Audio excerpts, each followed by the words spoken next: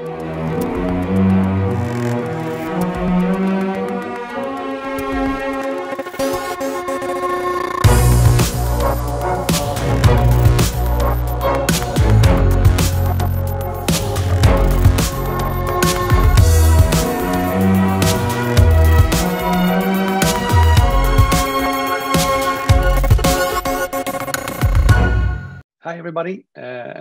welcome to this session. Uh, we're going to talk about intelligence-led security today, um, and on the theme that there's no such thing as bad weather, only unsuitable clothing. So uh, my name is Stefan Lager. I'm the uh, SVP of Global Service Lines, so we are responsible for our global managed service offering.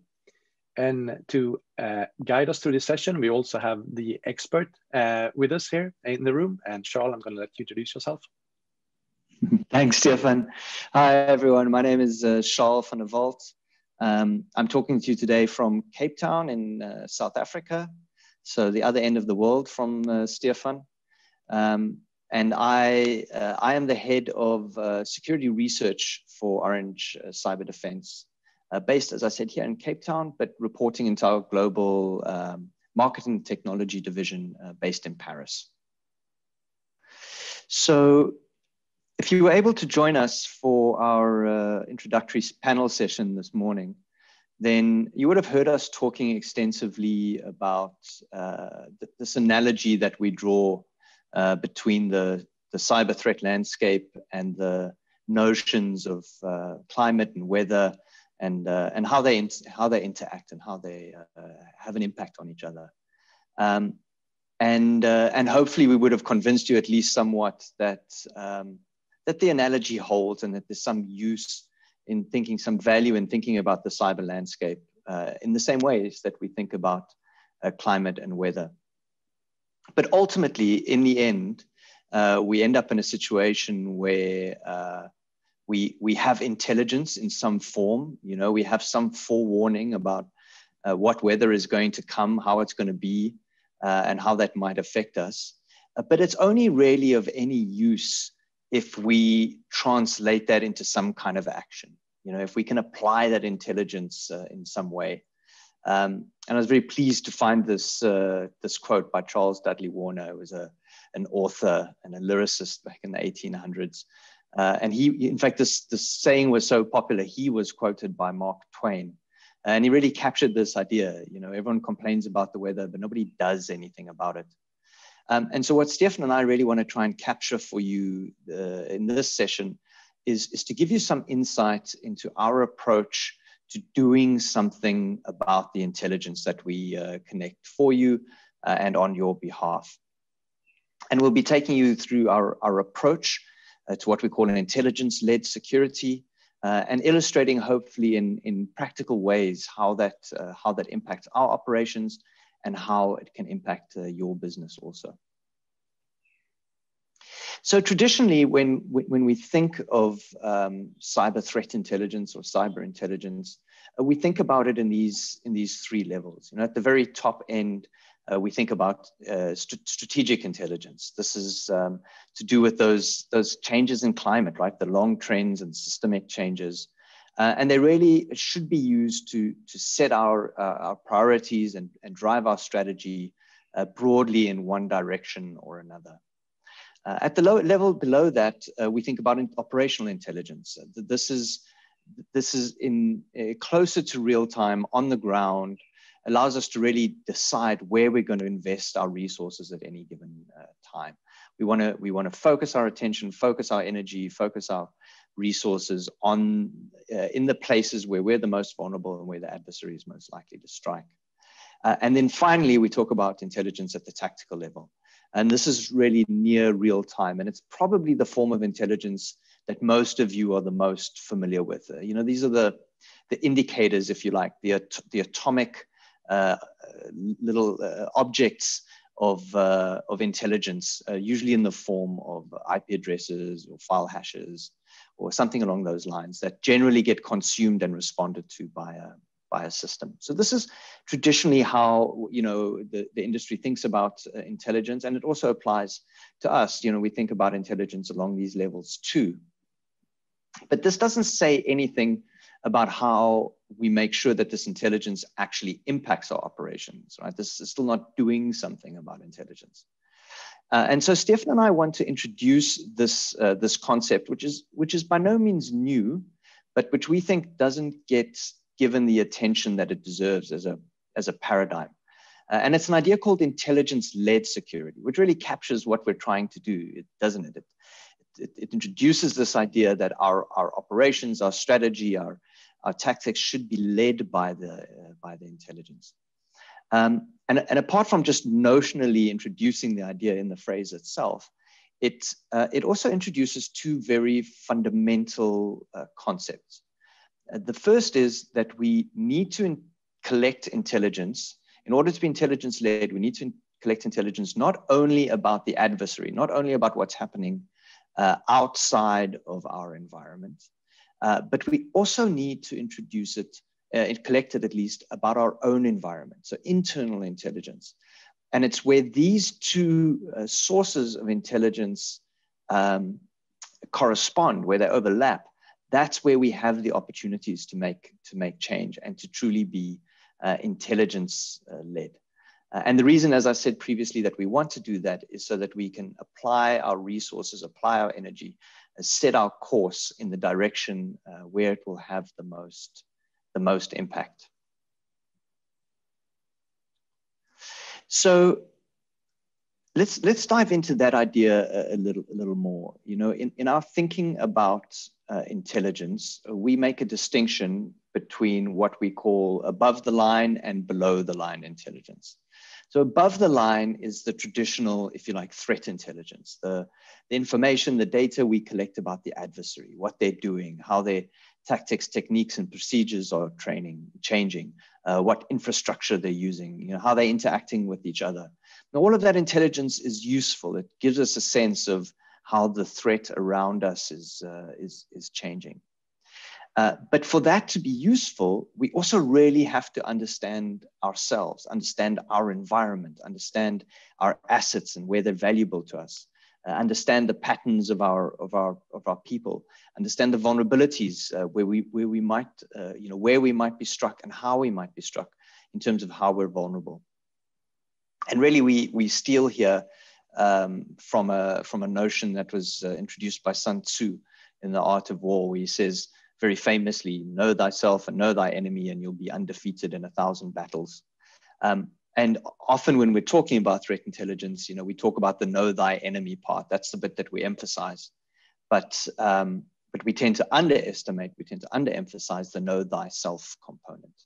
Now, you know, knowing thyself is a philosophical uh, construct also, uh, but we believe we can make it practical in the delivery of our services by equipping our customers to know some very specific things about themselves uh, where they have an advantage over the adversary. These are things that our customers, uh, we believe with our help, can know about themselves, which take time and effort for the adversary to learn. Uh, and in learning, the adversary, where the adversary may also risk exposing themselves. Uh, and there, there, are multiple con multiple uh, concepts that, that feed into the know, know yourself paradigm. Uh, but in this graphic, we really just want to uh, emphasize two. Uh, the first is what we, what we call identify, as, as, as Stefan will uh, illuminate for us in, in a moment. Uh, that's really about knowing uh, our assets and knowing our um, attack surface. So what is it that we have to protect and where is that exposed? and the next is about detection. That's detection, e detecting either vulnerabilities uh, on our system. So, you know, what uh, opportunities are there for the attacker or detecting the attacker where they do step uh, out of, if you like, the anonymous internet space and into environments where we have visibility. And that gives us a very good opportunity to um, use our home field advantage uh, to gain intelligence not only about the adversary, but also about ourselves. So uh, I'm going to hand over to Stefan to just talk us a little bit more through uh, how our, our services are structured and, and, and how we can use them to, to deliver value to you. Thank you so much, Charl. So Charl talked about you know the two perspectives of knowing your adversary and knowing yourself. Um, but what can we do with this knowledge? So I think uh, apart from, from having this knowledge, we need to do something about that. And one is to be able to proactively protect yourself as good as possible and reduce the risk of critical incidents. The other one is also to accept that there will never be such thing as 100% protection, so you will have incidents. The cost and the impact of those incidents are have, related not only to how quickly you can detect them, but also how quickly and effectively you can respond to them. So if you put all of this together, then it ends up with what we call our different uh, service areas. So it really starts with anticipating. It's about observing the landscape, understanding vulnerabilities, threats, and attacks. Once we have that, we can go in to identify and understand uh, yourself in terms of identifying your assets and your specific attack surface. So identify as being the second one. Once we know this, we can now go into the protect service area. So it's all about making sure that you can uh, reduce your attack surface as good as possible, understanding what you require, uh, what kind of technology, what kind of, of pro product and people and processes do you require. Into the detection, because we can't protect against everything, so we need to have a strategy for detection. How do we detect things? How do we do this across cloud, across OT, across on-premise and so on? How do we do it based on logs? How do we do it based on network activities or endpoint activities? But even more important, once we have these detections, we also need to have a plan to what to do with that. So respond being the last portion of the different service areas. But within the service area, it's also important to understand specific vertical requirements. There are specific uh, threats and solutions for healthcare, for example. It's for, for, for finance, for retail, for manufacturing. There are also specific threats and solutions for specific and certain environments like cloud and, and OT, industrial control systems, IoTs. So all of these needs to be taken into consideration as well. And to best serve our customers, we have an extensive service options ranging from equipment resale into integration services into full and co-managed services, and to try to fill uh, the individual and unique gaps uh, for all the customers that they may have. But putting all of that into specific silos and different solutions is usually not a good idea. So, so how can we now drive synergies between different services and different service areas? How can we uh, you know, get synergies and, and, and create more effective cybersecurity solutions? And this is what I'm gonna go uh, look a bit more into detail now. So I'm gonna hand it over to Charl again. Thanks, Stefan. So so what you're seeing on the screen now is a, is, a, is a depiction of what we call our intelligence backbone. intelligence backbone is a combination of uh, technologies, uh, people, and, and processes that are put in place to ensure that we are systematically collecting the right data about our customers and about the landscape, that that data is being processed into intelligence uh, by suitably equipped and suitably um, empowered people, um, and that that uh, resultant intelligence is driving its way through into the various service offerings that Stefan outlined. Um, and then finally, that the value of that intelligence and the enriched intelligence that comes from the application uh, of, uh, of the data to a service is fed back and finds its way through to the other services. So there's really uh, three, three concepts. The, the first concept, which you'll see at the top of the screen, is that we need to collect intelligence. Uh, and like almost every other player in the space, uh, there are some traditional places we can collect intelligence from, like the threat intelligence feeds, the vulnerability feeds. Uh, there's plenty of data floating around. Uh, in fact, our threat intelligence engine collects data from more than 500 distinct data feeds. Um, but uh, being, being an operator and, and being a, a provider of, uh, of, of, some size, we also have the opportunity to produce our own intelligence. Uh, and there's various parts of our operations within uh, Orange Cyberdefense specifically, but then broad, more broadly within uh, Orange Business Services and within um, Orange itself that produce intelligence uh, out of our operations, either internally or with respect to the customers. So all that data has to come in and then it comes into a, a huge technology platform we call the data lake, uh, which, uh, if you like, is the storage unit of this uh, backbone of ours. And there we need to apply various forms of processing to intelligence uh, to, to convert it into those, those different forms that we spoke about earlier. Um, and we really, we really think about it in terms of levels, as we, as we mentioned previously. There's a tactical forms of intelligence, operational forms of intelligence, and strategic. Uh, and then also in terms of classes. And here broadly, we speak about uh, cyber threat intelligence and vulnerability intelligence. Um, both of which are, are, really essential to understanding, uh, as we as Sun Tzu uh, expected us to, in understanding both the adversary and ourselves. Um, and it, for each one of the, uh, the, the, the, quadrants, if you like, in, uh, in that matrix, uh, we have a specific discipline, a specific process that is producing intelligence uh, that is appropriate at that level and is the right form and is being produced at the right time. And I won't go into each of them now. Uh, we'll come back to that a little bit later. Um, but that captures our, if you like, anticipates set of activities from the model that Stefan shared earlier. Um, and most of these, in fact, everything that you're seeing on the screen in front of you now are also directly consumable by the client. So you can request uh, either as, in, as, part of a commercial offering or as uh, you know some of our uh, community outreach offerings, you can get access to these intelligence outputs so that they can serve your processes directly also. But more powerfully, uh, from our perspective, is that these offerings then are fed through the backbone out into the various components of our um, service delivery offering.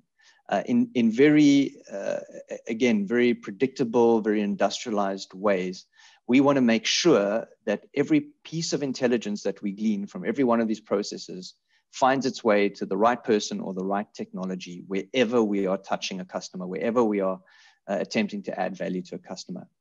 And in order to properly close the loop, to complete uh, the threat intelligence lifecycle, we also need to make sure that we gather back uh, observations and feedback uh, from those operations that further help us to, uh, to, to enrich our offerings. Uh, and that could be that could be simple things like um, from our CSIRT services, Stefan spoke about uh, CSIRT, we can glean whether uh, intelligence indicators which we collected and processed were actually involved in a real life compromise. And that can give us confidence about those indicators and we can up their threat profile.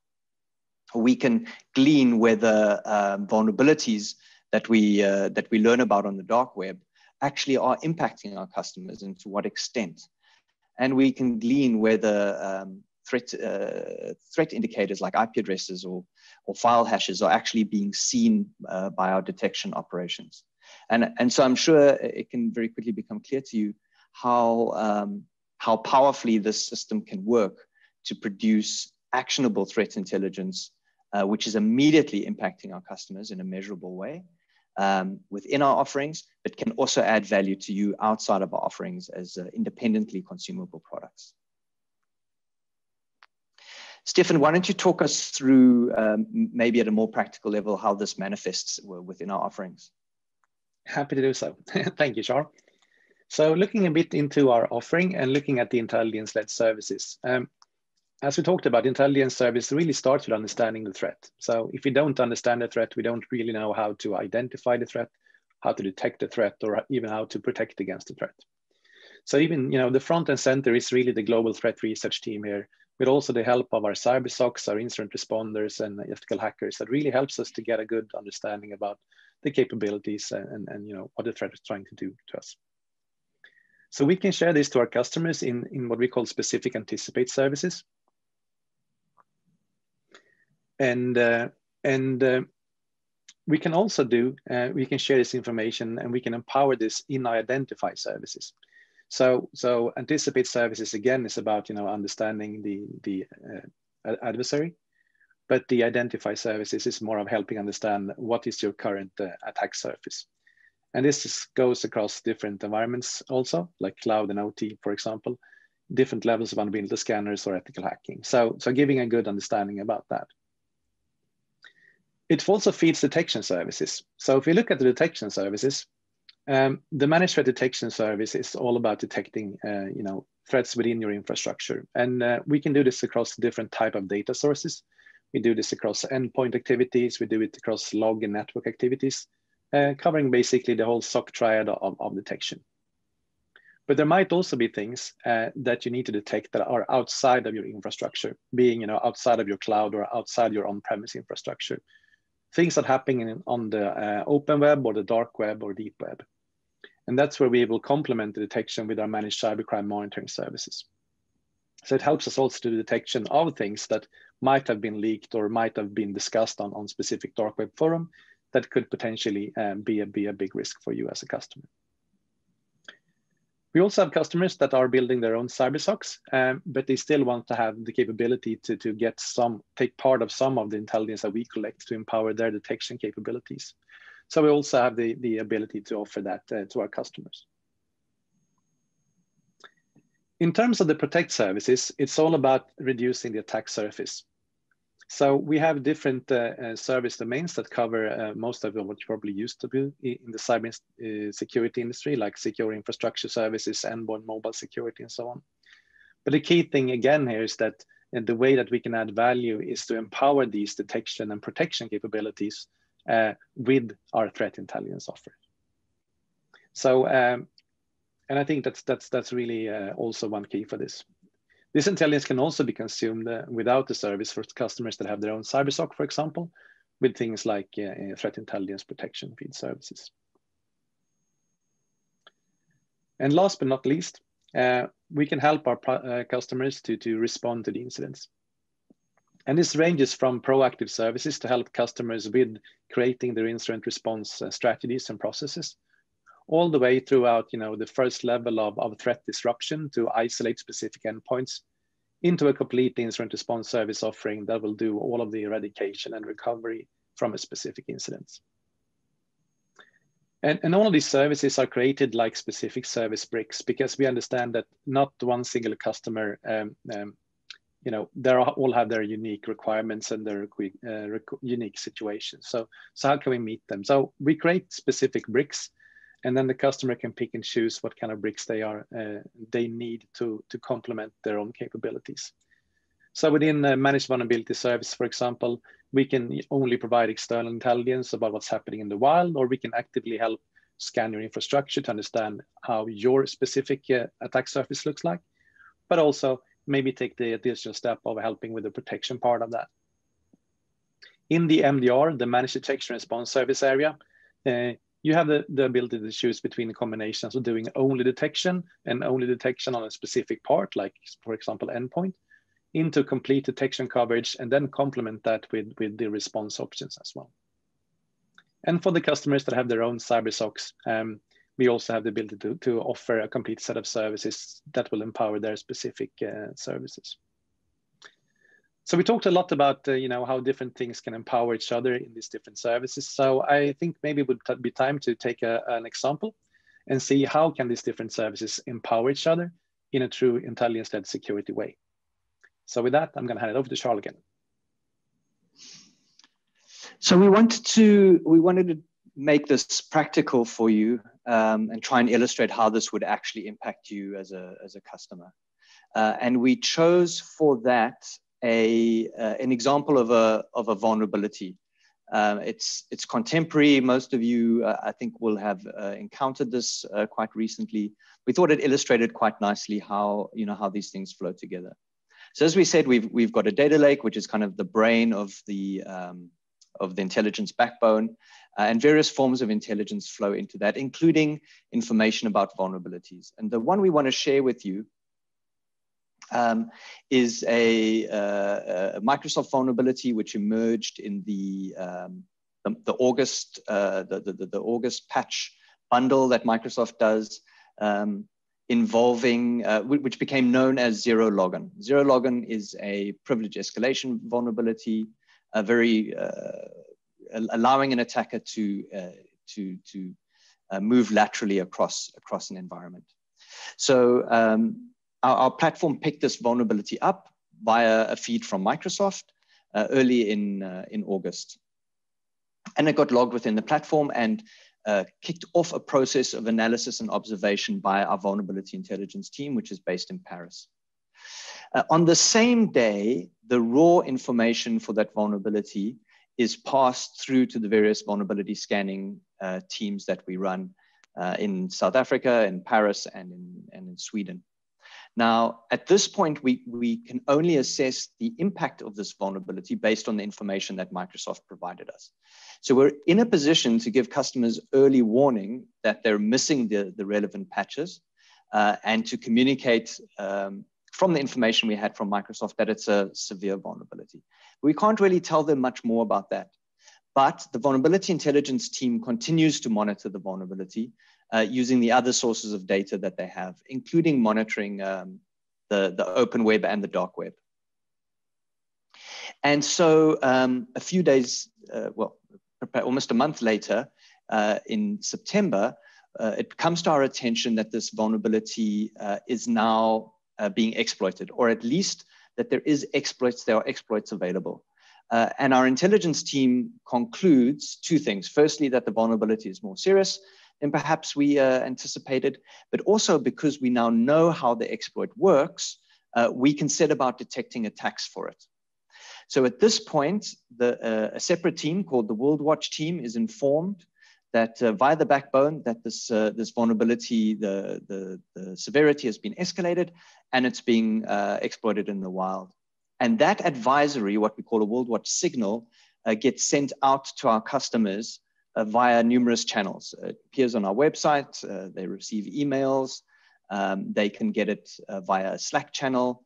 Uh, and of course, internally, all of our operational teams are also informed uh, that this vulnerability has been elevated and that it's being exploited in the wild. The threat detection teams who will then receive this advisory um, will then commence uh, analyzing it to understand how it can potentially be uh, detected. Uh, there's a center of excellence around uh, threat detection uh, where uh, experts from various teams all over the world collaborate um, to understand the exploit and understand how we can, we can best detect it. And as a result of that, on the very next day, tickets are logged across our various customer estates to uh, commence threat hunts for that particular attempts to exploit that particular uh, vulnerability. And what I really liked about this uh, this this example was, as it happens, uh, there are several customers that are uh, impacted and notified uh, that this is the case.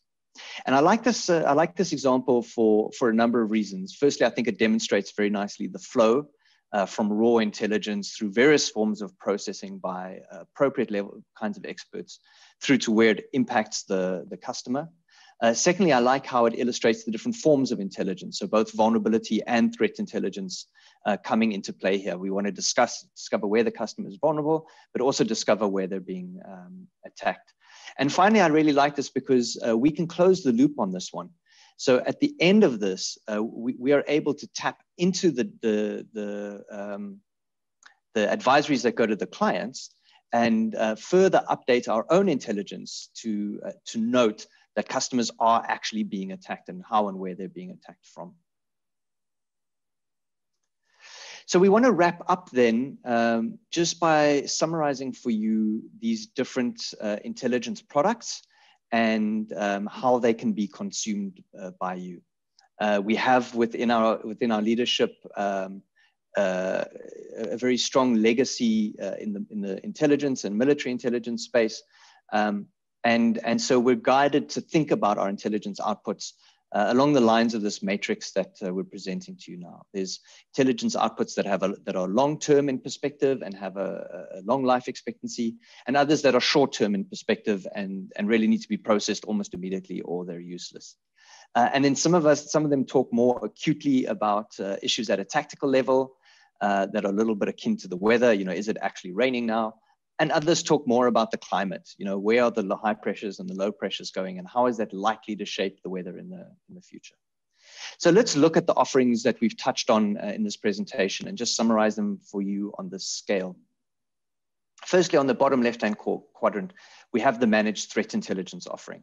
So this is uh, this is near to real time uh, atomic indicators of, uh, of compromise and attack. So things that would feed into your firewall, into your SIEM, and into your threat uh, hunting operations, as they do into ours.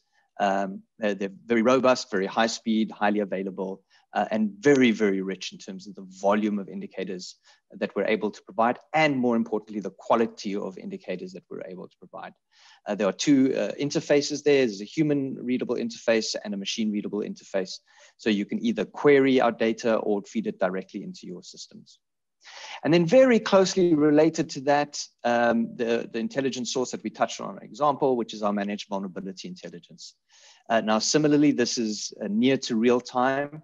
Uh, given that this intelligence requires a little bit more uh, analysis time by our experts, it's not quite as uh, real time.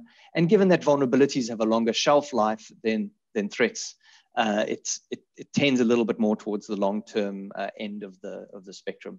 Again, this product is commercially available to our customers just in exactly the same form that we use it internally uh, and can be consumed via a, a feature-rich UI or directly uh, via uh, machine interfaces into your own platforms. And then we touched also in the example on something called WorldWatch. WorldWatch is a, a service that seeks to summarize all of this other intelligence, um, put it into one place, make it very digestible for sort of mid-tier technical security leaders, um, and provides uh, acute, actionable uh, intelligence at the tactical level. So in the WorldWatch service, that manifests in the form of bulletins that can go out to you via email, via our portal, or via um, a chat channel. And um, it's it's added as a as an add-on to for customers who consume our other managed services. And it's it's sort of towards the tactical end of the spectrum, but uh, does touch on some sort of emerging trends, and therefore has some significance at the more strategic end of the spectrum. Uh, the WorldWatch service then also produces a monthly report, which zooms out a little bit from the daily briefings and, and provides you a sort of consolidated view, um, uh, you know, over the month. And so that uh, that report is uh, tends a little bit more towards the long term, uh, but it is also still primarily a tactical thing. You know, it's what about what you should be doing today and tomorrow, maybe next week or next month, but not more than that. However, uh, from the data that, that, that flows through the backbone, uh, we are also able to produce a very rich set of analytical tools. Uh, and so we have a, a, front end, a visual front end to the, um, to, to the backbone uh, that allows us to pull trends, statistics, hotspots, etc., from all of the forms of intelligence uh, that go in and come out. So at any given point, we're able to do what we call telling stories about stories uh, and present perspectives uh, on a regional level, on an industry level, uh, across all of the intelligence and operational services that we offer. Uh, to help our customers understand, you know, what is happening in their space and what are other customers seeing in their space. Now, Stories About Stories um, is a platform that we use, but we can share it with customers and um, you know, we're, happy to do it as part of, uh, of customer briefings to, to help them understand what we understand about their space. Then uh, we have what we call our threat intelligence reports. Threat intelligence reports come out on an ad hoc basis. They're delivered by our open source intelligence teams, and they really they really examine the threats and vulnerabilities uh, in a given segment in very very deep detail. So we do reports on pharmaceuticals, on manufacturing, on cryptocurrencies, etc. And these threat reports are available on a subscription basis from our website uh, free to free free to use for anyone. We also produce on an annual basis what we call our Navigator Intelligence Report. We're very excited because uh, as we speak, that report is uh, being finalized and made ready for you. And it really captures um, a, everything we've learned uh, over the period of a year from these processes uh, acting out. Um, so if you want to understand, uh, you know, what kind of perspectives we can offer, and if you really want to understand what's happening in the world around you, um, then you can sign up and receive our Navigator report um, to, you know, to benefit from, from all of these activities. And then finally, at the sort of very top right of the quadrant, we have what we call our State of the Threat report, uh, which is really what was shared with you during the keynote panel uh, for, for World 2020, which is where we try to understand at the very highest level, at, at the level of, uh, of climate and systems, uh, what the factors are that are shaping our environment. Um, and it's from that understanding of those factors that the rest of our intelligence processes and, um, and service strategy development, etc., all uh, take their shape. And so there you have it on a map. Uh, that's how our uh, intelligence offerings are made available to you. Uh, as you'll see, some of them are commercially available, but very many of them are there for you to benefit from um, simply by subscribing or uh, letting us know that you want them, and we'll make sure we get them to you. Um, and with that, I think all that's left is, is, for us to say thank you very much um, from me and from Stefan for your time. We hope this has been of value to you, and uh, we look forward to talking with you more about uh, our intelligence led services and how they can benefit you. Thank you. Thank you.